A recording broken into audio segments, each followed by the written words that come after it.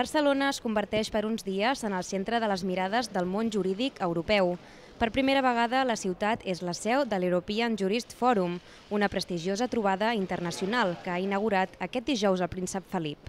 Fins dissabte, desenes d'experts juristes contribuiran a conèixer i a posar-se al dia de l'actualitat que afecta el seu sector. Barcelona té una llarga tradició, una llarga tradició en la impuls i creació d'institucions de dret internacionals, la nostra ciutat sempre ha tingut vocació europeista i el que és més important, el convenciment que les ciutats som els nuclis dels quals parteixen iniciatives d'abast global.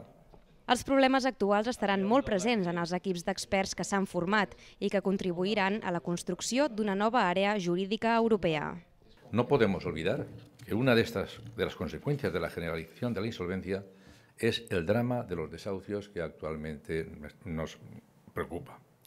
Y de los últimos datos estadísticos de los que dispone el Consejo, se infiere que la minoración paulatina que se había detectado en esta materia en ejecuciones hipotecarias en 2010 se ha truncado en 2012, anualidad en la que se han producido importantes incrementos.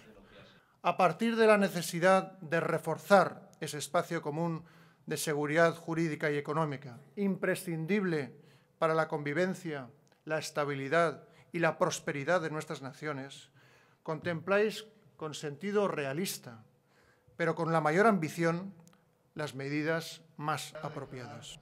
El Col·legi d'Advocats de Barcelona, l'Academy of European Law i la Universitat Autònoma són els organitzadors d'aquesta setena edició, on també es tractaran els problemes derivats de la insolvència dels holdings, la crisi del sector bancari i el debat sobre la mobilitat societària a la Unió Europea.